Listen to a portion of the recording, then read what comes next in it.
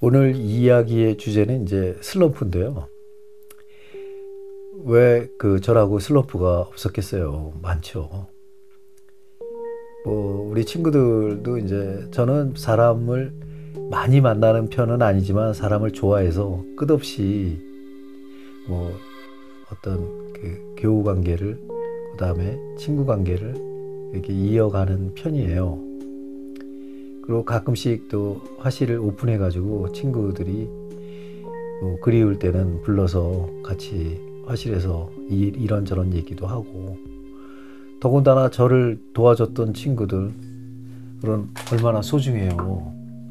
그런 친구들한테 좀 어떻게 좀 보답할 길이 없을까 해서 뭐 삼겹살이라도 구워 주자 뭐 이런 그런 생각들이 있거든요. 늘 뭐 화랑하고는 일은 하고 있지만 제가 이제 이 작품을 엄청나게 잘 팔리는 그런 스타일의 어떤 그 작품이 아니기 때문에 그리고 이 작품은 항상 유행을 타기 때문에 또 그게 매번 쉽지는 않죠.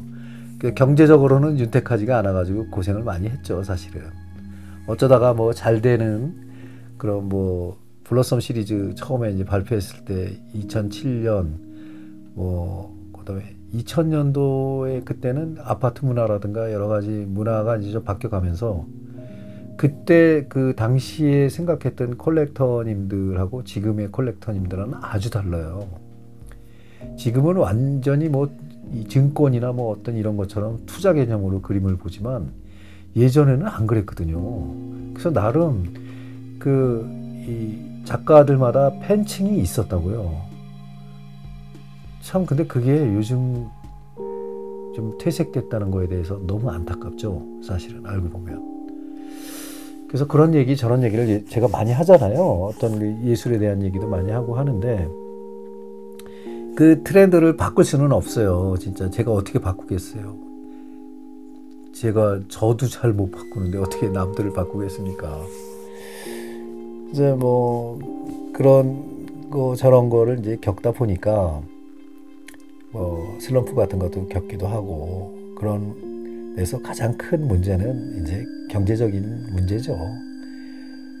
늘 따라다니는 거죠. 예술하는 사람들한테는. 안 그럴 수가 없어요. 아닌 척 하는 것 뿐이지. 그래서 결국엔 타협도 하고, 뭐, 시키는 대로 하기도 하고, 뭐 그런 사람들이 대부분이죠. 근데 그분을 비난하고 그러는 게 아니에요.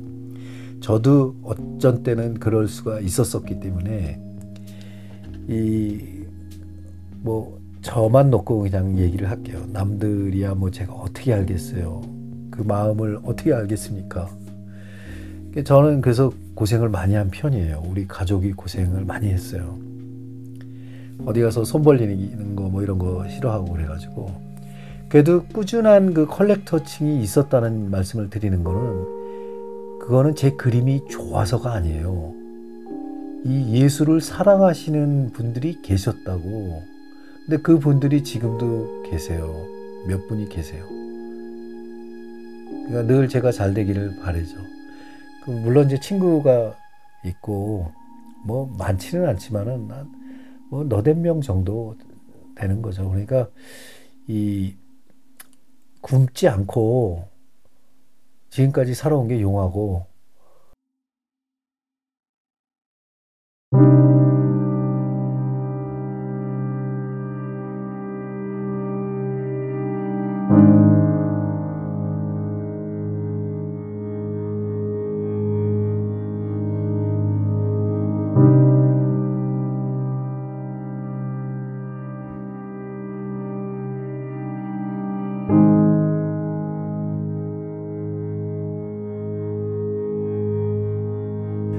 그래도 저는 뭐 어디를 투자한다거나 노름을 한다거나 이런 건 없거든요. 저는 아주 극도로 싫어하는 게 이제 그런 거거든요.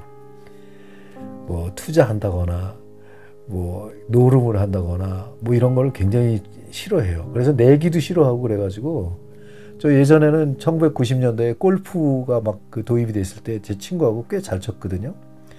근데 그 자꾸 내기들을 하더라고요 친구들이 거기 골프장에서. 그래서 그냥 그 다음서부터 다 안 나갔어요. 골프채도 다 누구 줘버리고 난 그런 식으로 살지는 않을 거다라고 해가지고 그리고 제가 귀국했을 때 내 친구들이요 저를 경마장에 데리고 갔어요.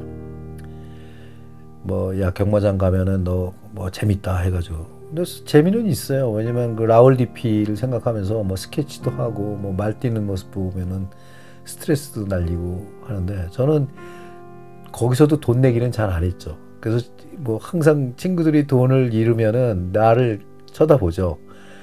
뭐 그럼 또 나 내가 주머니 다 털어가지고 친구들 주면은 또 그거 가지고 또 다 잃고 돌아오는 길에 라면 살 먹을 돈도 없이 막 오고 그랬거든요. 그래도 저는 친구들을 좋아해서 친구들한테 뭐라 그러지는 않았죠. 그 스스로 이제 제가 그만두게 되는 거죠. 이제 따라다니는 것도. 그 처음에는 이제 그리운 친구들이니까 뭐 그럴 수 있죠. 뭐 항상 그 슬럼프에 빠지는 거는 그림이 잘 되고 안 되고 이런 문제가 아니고 관계에서 오는 슬럼프에 많이 빠지죠. 뭐 나이가 들고 아이들이 크니까 이 감당할 수가 없더라고. 이 경제가 안 좋으면은 학비 돼야지 뭐 돼야지 따라잡을 수가 없더라고. 화랑 자체 관계하고 있는 화랑 자체도 거기는 화랑 크긴 크는데 거기도 이제 점점 점점 일이 많아지는 거죠. 뭐 식구들도 많아지고 그러면은 저한테 신경 쓸 여력은 더 없죠. 사실 알고 보면은. 그러니까 뭐 계속 그 누적이 되는 거예요. 그 피로도 아이들이 더 커가면서. 그래서 뭐 이 아이들 때문에 힘들어가지고 어뭐 우리 집사람이 고생을 많이 했는데 뭐 돈 벌느라고 고생 곧돈 버는 거는 제가 안 시켰거든요 가급적이면. 제가 어떻게든지 해결하려고 노력을 많이 했는데 사실 잘 되지는 않았지만은 어쩌다가 이제 글이 팔리면은 또 해결을 하고 뭐 그런 식이었는데 그것도 한계가 있는 거죠. 어떻게 매번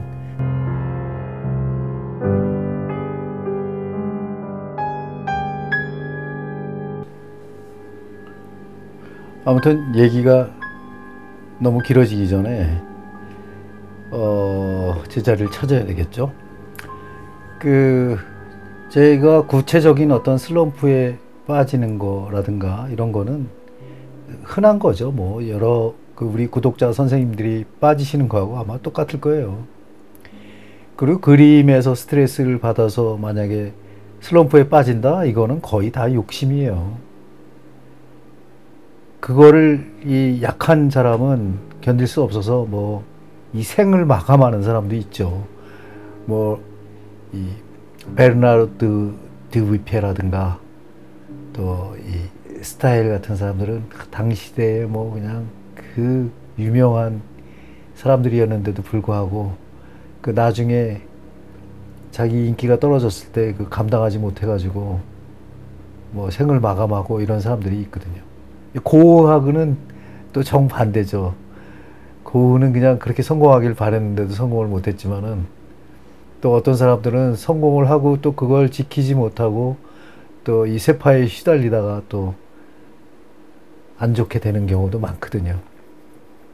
그러니까 사실 경험이라는 거는 굉장히 중요한 것 같아요. 그런 저런 그 슬럼프를 다 이겨낼 수 있는 거는 결국엔 많은 생각을 하고 그거를 정리해야 되거든요. 멘탈적인 요소로.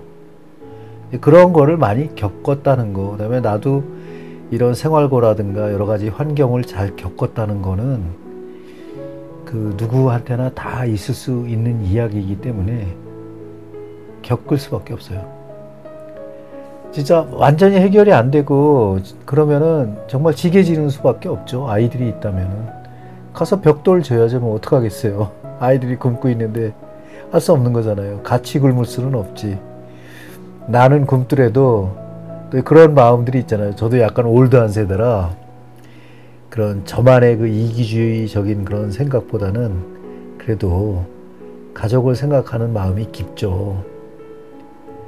더 이상 더 이상 뭐 이런 이야기를 이어 나가면은 진짜 저는 제가 주책 떠는 것밖에 안 되니까 여기서 멈추고 다시 이제 어떤 그림 얘기로 다시 돌아가서 뭐 이런저런 그 사건 사고야 뭐 누구나 다 있는 거라고 생각이 들고 뭐 저는 자주 친구들 친구들한테 그런 얘기를 하거든요. 나는 스토리성 작가다. 스스로 그렇게 얘기하거든요. 그러니까 뭐 감추는 게 별로 없죠. 그냥 항상 솔직하려고 하고 뭐 그러려고 하는데 그렇게 솔직하면은 또 이 경우에 따라서는요 적이 많아져요. 왜냐면 그 꾹 참아야 되는 그런 거가 있거든요. 사람들은 자기한테 막 아부하고 잘하는 사람들을 좋아하거든요. 그거 모르는 사람이 어디 있겠어요. 근데 또 그게 또 잘 안 돼요. 그냥 저는 솔직한 사람이 좋고 그런데 그게 잘 안 돼가지고 어떤 때는 직설적으로 뭐 이렇게 얘기가 나오게 되고 그러면은 그 미움을 받죠. 근데 그런 거 뭐 두려우면은 어떻게 뭐이 이술 활동을 하겠어요. 할 말은 하고 가야죠. 아니면은 활동을 접고 혼자서 한다면은 뭐 그럴 필요가 없는데 저는 또 승려나 목사는 또 아니잖아요. 수도승도 아니고. 뭐 그래도 일종의 어떤 인간으로 태어나가지고 소임이 있다고 생각하거든요. 화가로서의 소임이. 그러니까 뭔가 좀 뉘앙스가 많은 그림들을 통해서 우리 뭐이 팬층을 좀 즐겁게 해드리고 이런 건 아직 여전하거든요. 저는 재밌어요. 이 그림 그리고 이러는 게 워낙 천부적으로 재밌어 하는 사람이기 때문에 뭐 잘 그리고 못 그리고 이런 걸 떠나가지고 주변 친구들 그다음에 제 그림을 좋아하시는 분들에게는 좀 가볍게 다가가서 이렇게 좀 그런 게 있어요.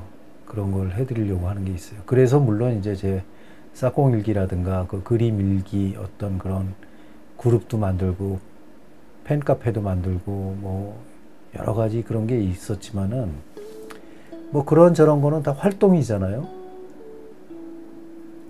근데 이 슬럼프가 너무 깊으면 안 되죠, 물론. 그게 깊으면은 병이 되니까. 그래서 우리 구독자 선생님이 저한테 질문하신 그 의도는 정확히는 모르겠지만은 이 병이 되면은 안 되는 거라는 생각을 말씀드리고 싶어요. 누구나 흔히 겪을 수 있는 슬럼프는 스스로 풀지 않으면은 풀 길이 없다고. 뭐 안 되는 건 없어요. 안 되는 건 없고 뭐, 뭐 경제적으로 윤택하지 않으면 조금 좀덜 먹으면 되고 덜 쓰면 되고 또 그조차도 없으면은 조금 고생해야죠. 뭐 그 어떻게 인생이 평탄한 길만 가겠어요. 고생하는 일도 있어야죠. 그리고 예전에 고생 안 했다고 해서 하고 지금 고생한다고 해서 막 슬프거나 뭐 이럴 필요는 또 없죠. 뭐 비우면 되죠 마음을. 그게 뭐 쉬운 건 아니지만 그래도 마음을 다쳐가면서까지 그럴 필요는 없죠. 뭐 이런 저런 얘기 쓸데없는 얘기도 하고 했지만은 어느덧 또이 시간이 많이 됐는데 지금 제가 드로잉을 하는 거는 그냥 목적이 있어서 하는 건 아니에요. 제가 손도 풀고 요새 수채화 하느라고 뭐 제가 어제도 뭐 밤 늦게까지 작업을 했지만은 이 꼼꼼하게 하는 작업들이 의외로 그 상당히 시간이 많이 걸리거든요. 근데 여러분들 이건 아셔야 돼요. 이 드로잉을 한다거나 이럴 때 이거는 워밍업이라고 생각 하는 것도 좋아요. 왜냐면은 이 손이 풀려야 되거든. 이 손이 풀리고 생각이 풀리면은 이 머릿속의 뉴런들이 막 활발해져요. 그래가지고 그림이 활발해진다고. 그럴 때 가장 필요한 요소를 제공하는 것들은 이런 드로잉이죠. 드로잉을 해서 이 자꾸 그 회전을 시켜야 돼요. 손도 빨리빨리 우리가 좋아하는 빨리빨리 이런 거는 뭐냐면은 이 손이 완전히 풀리면은요 이 선이 잘 나오거든요 이 강약 조절이라든가 어떤 속도라든가 어떤 시각적으로 보는 어떤 그 이 밀도 있는 그 어떤 그 이렇게 점을 찍고 있어도 그 점 찍을 때 어느 공간에 딱딱 찍겠다 이런 거는 스스로 이렇게 막 해보지 않으면은 잘 안 나오거든요 생각보다 이게 쉽다라는 것보다는 생각보다 생각을 해야 돼요. 이게 생각보다 생각을 해야 돼. 아무튼 이렇게, 이렇게 이런 그 어떤 뭐 선을 갖다가 해봄으로써 어떤 시각적인 효과라든가 어떤 공간성 같은 거 이런 거를 갖다가 약간 좀 편안하게 이 뉴런을 갖다가 달래주는 역할을 하거든요. 그래서 저는 드로잉 하는 거를 이제 강하게 추천드리는 거고요. 뭐 연필로 하셔도 되고 뭐 또 해도 되는데 저는 요즘 이 그 잉크가 재밌더라고요. 제가 유튜브 하면서 오히려 제가 도움을 받는 것 같아요. 이 요런 그 잉크로 뭐 이렇게 하는 그런 거를 예전에는 할 생각을 별, 별로 없었거든요. 근데 이거를 잉크가 예전에 만년필에다가 뭐 잉크 넣어가지고 채워놔도 뭐 별로 잘 안 써요. 만년필도 내가 문학하는 사람이라면 이제 많이 썼겠지만은 잘 안 쓰게 되더라고. 근데 이런 드로잉을 함, 함으로써 이제 이렇게 좀 이렇게 점도 찍어보고 날카로운 선도 그어보고 뭐 물감도 흘려보고 여러 가지 이런 거를 해봄으로써 이렇게 손이 이렇게 풀렸다는 그런 느낌을 받는 게 있거든요. 그러니까 꼼꼼하게 무슨 작업을 한다, 그다음에 시간을 투자한다 이런 분들도 알고 보면은 이 어떤 긴장하지 말고 이렇게 좀 그런 게 필요해요. 그런 데서 이런 그 드로잉이라든가 이런 거는 굉장히 필요하다라는 거를 말씀드리고 싶습니다. 여러분들도 한번 해보세요. 이렇게 그 그림 잘 안 되고 뭐 가령 뭐 머릿속에 잡념이 많아지고 생각할 게 또 많아지고 뭐 이랬을 때는 이 드로잉으로 이렇게 다스리는 것도 괜찮아요. 그 누군들 슬럼프가 없겠습니까? 그리고 누군들 다 평탄하겠어요. 뭐 여러분들 잘 아시는 신문에 자주 나오는 재벌들도 그렇게 매일 쌈질하고 힘들잖아요. 그리고 우리 경제적으로 윤택하지 못한 많은 또 분들은 또 나름대로 많이 힘들죠. 하지만은 제가 다시 한번 말씀드리지만 저, 저한테 하는 말일 수도 있지만은 마음의 병으로 만들 필요는 없다는 그런 생각을 하면서 제가 이런 드로잉을 하고 있습니다.